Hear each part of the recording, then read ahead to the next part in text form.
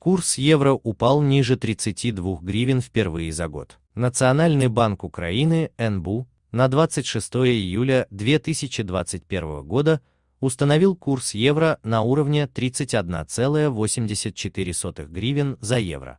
Это на 19 копеек ниже по сравнению с предыдущим банковским днем.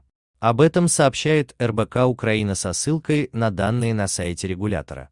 Официальный курс евро на 26 июля установлен на таком уровне 31,845 тысячных гривен за евро, минус 0,1893 десятитысячных гривны.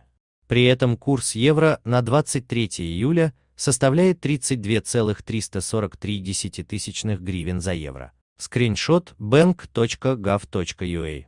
Таким образом, официальный курс упал до годового минимума. Ниже курс был назад, 22 июля 2020 года 31,67 гривен за евро. Скриншот bank.gov.ua. Межбанк. На межбанке курс евро в продаже снизился на 26 копеек до 31,83 гривен за евро. Курс в покупке составляет 31,80 гривен за евро. Прогноз. По прогнозу аналитиков Альпари, в июле снижение курса доллара и евро к гривне продолжится. С высокой вероятностью евро продолжит дешеветь по отношению к доллару, а значит он снизится к гривне сильнее американской валюты.